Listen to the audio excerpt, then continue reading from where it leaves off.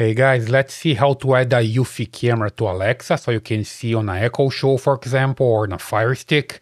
So basically here I have the Eufy camera already running. So just use the Eufy app and have your camera running and you're good to go, okay? Uh, so the first, the second step here, uh, after having the camera running, just go to the Alexa app.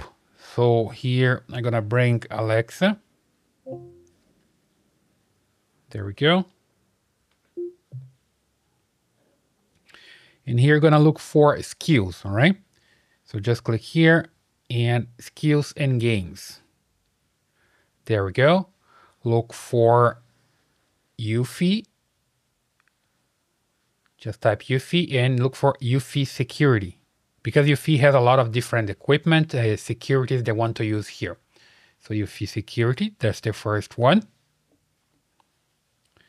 And now enable to use. Click on it. And it's going to connect your account, your Eufy account with your Alexa account. All right. As long as you have the app running already, uh, Alexa is gonna find it, right? Because I already logged in in the Eufy account. So I just hit confirm and it linked the account. So now I have Alexa and Eufy security connected, right? And here next. And now it's going to look for the devices to connect, which means the camera that I have here. It couldn't find. Let me just try again. There we go. I have here the camera. It finds that way because I, I connected that before, right? So it's offering me this camera. And there we go.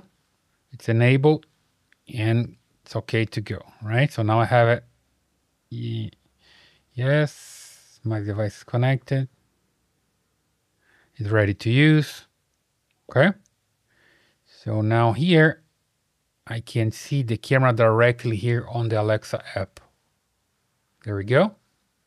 I can even enable the speaker and the microphone and I'm good to go. Okay. But the important thing here is to use with the Echo Show or Fire Stick, for example. Let me just unmute here.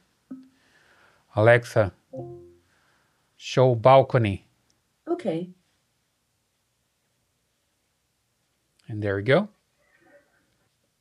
Let me just decrease the volume here because it's having a sound loop, right? So it's basically working. Now you know how to add Uh, a Eufy camera to Alexa so you can see the video on an Echo Show or Fire Stick or anything that you want, all right? I hope you like this video. Please subscribe to this channel, leave your thumbs up in your comments, and I see you in the next one.